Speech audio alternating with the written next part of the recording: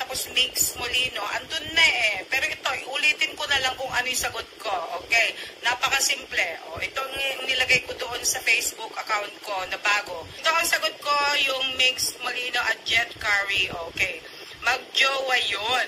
Si Mix ang dahilan noon na hiniwalayan ko si Jetro. Oh. Sinabi kasi ni Jet noon na pinsan lang daw niya, yun pala, jowa niya yun sa dating, ah, ayon sa dating yaya at PA kong si Erica Lopez, ayun. Kasi nga naman, it's been a long time. Siguro this was ah, bago ako nag-asawa ng iba, kaya nga ako naghanap ng iba eh.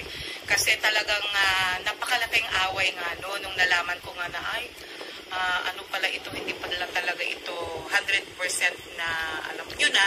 So, yun nga, dahil nalaman ko na may mga iba't ibang mga chismis na mga ganun.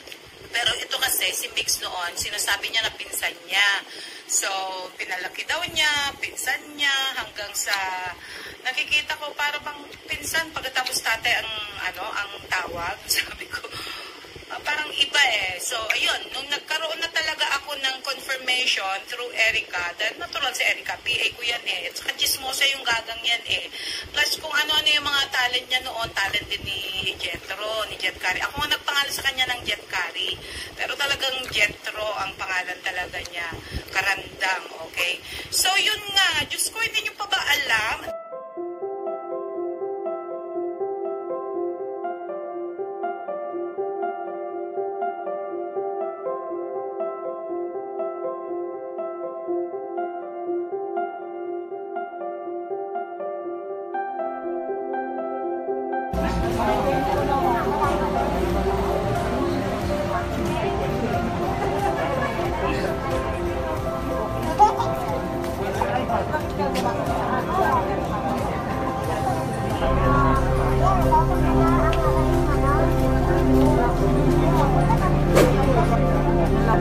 What's up?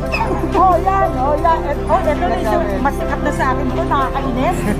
sa YouTube. Dalawa sila ni Mahal. Yan. Subscribe niya. Ano ba pangalan ng ano mo?